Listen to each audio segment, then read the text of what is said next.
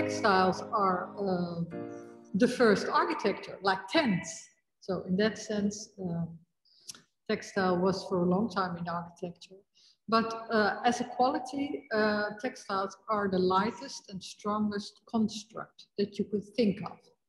So it has a lot of potential to build with textiles. So textile has a lot of uh, qualities um, because it is an empty, empty vehicle.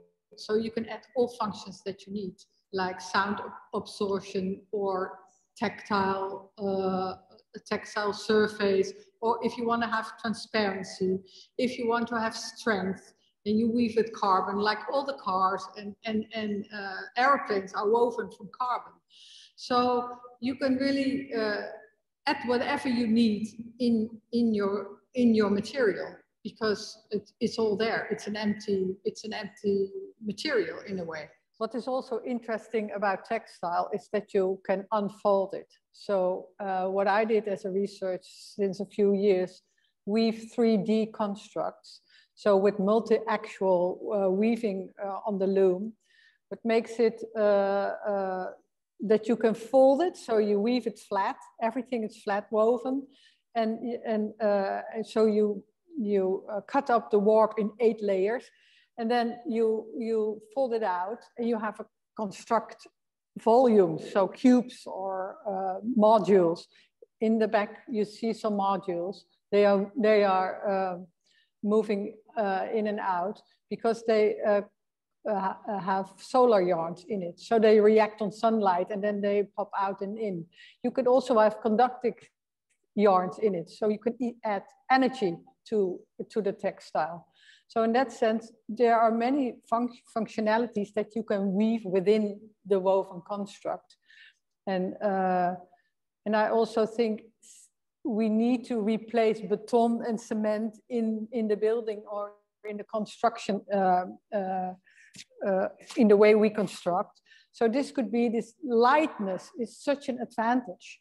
Uh, that I think this is really a, a, future. Also, if you think of flying cars, or platforms that we have to build for all the flying cars. So we have to have very light constructive things on our buildings to receive helicopters or drones or whatever. So there is, I think, and if, if you have something that could unfold, like you have a balcony or a platform that reacts on the sun or reacts on energy, you could unfold your 3D construct what's hanging on the facade. So that's a way I'm thinking now for this 3D uh, weaving. We only, only think in textile as a flat surface, only as a skin, but it is really a constructive material. And I'm not only doing this as an artistic approval, I know because I also went to loom builders, the, the one who build, are building all the looms in the world they have now, they are developing a 3D uh, weaving uh, machine, a loom. So it is really in the mind of many people, also in bios, biomedical science, to do little constructs to replace things in your body. So this 3D weaving is really a future of thinking uh, in, uh, in, in light constructs.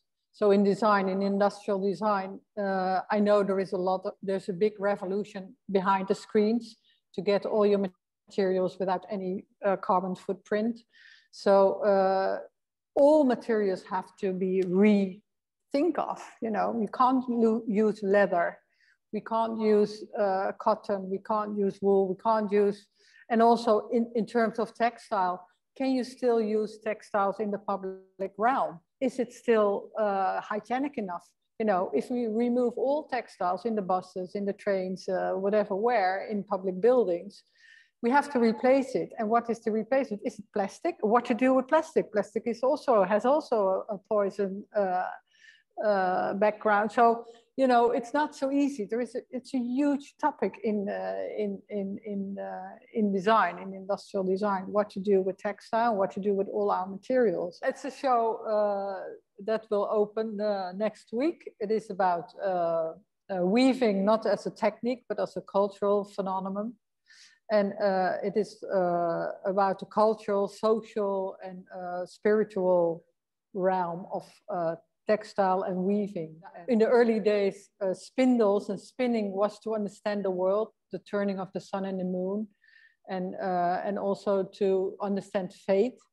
So I would like to change the fate or, or address the fate and what can we do as a human being uh, living in Anthropocene. You know, we are now spinning yarns for a new world and uh, we have to be careful which yarn to spin now. So that's a part of the show, an, an active part where also visitors can uh, join. Also, we will dance a yarn together with visitors. And there is the future of uh, textile. So this is the 3D weaving. So uh, the, the, modules uh, with solar yarns. Uh, and also another loom that I built specially for this uh, to weave on another in another way 3D because the, the, the machines are not existing yet. So that's why I built my own machines also to stay creative. Man and machine, I think it's an important topic uh, to address because all the machines now are not, no longer creative. They are just efficient. They're just economic robots. Uh, that's why I think uh, to innovate, you have to build your own machines.